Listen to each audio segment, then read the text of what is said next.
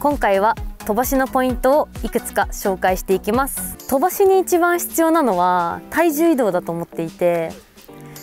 体重移動と、まあ、足の動き右に乗って左に体重移動した方が絶対に、えーと、ヘッドスピードも上がるしボールに当たる勢いとか力も絶対強いんですよ。バックスイングで左足重心の方ってよくいらっしゃると思うし結構それが流行った時期があって多分今でも流行ってるのかわからないんですけどなんかそうこれも全然いいスイングだし悪いとは言わないんですけどやっぱり飛ばすっていうのに特化するとこれは、えっと、方向性は良くなるけど飛びには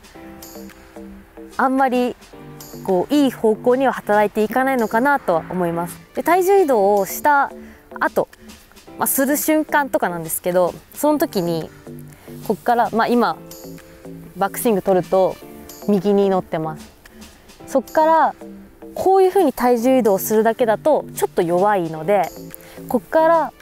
ステップこの地面をスクワットするようなイメージの動きにはなってしまうんですけどここからこういうステップを踏むような、えーと、動きをすることによってヘッドスピードはもっと上がります。でそれもタイミングがすごく大事なのでそこはあのご自身でやこうタイミングを測りながらやっていただくのが一番いいと思うんですけど前に膝が行くと抜けてしまうので後ろにお尻をこう下げるみたいなイメージですね。こういうなんかちょっと。そっから地面を押していくって感じ。ですこういうふうに。バックスイングで切り返す時に足を曲げ足をこうちょっとお尻を後ろに下げてそこからの伸ばすだけなので多分普通にスイングされる時もそういう動きってちょっとあると思うんですよ。それをただ極端にやるだけ。えっとフォローの動きというかフォローってすごい大事でせっかく伝わった力もフォローで緩んだりとか小さくなってしまうと全く意味がなくて。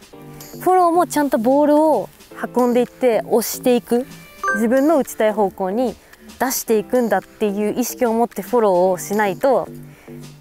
やっぱり最後の締めがうまくいかないのでそこはきちんとこう自分の思ったところに出していくとか自分のイメージがもしあるのであればそのイメージを最後まで出していくっていうのを大事にした方がいいと思います。こういうふうにもう結構大きく大きく出していく、えー、今回は飛ばしのポイントをお伝えしました。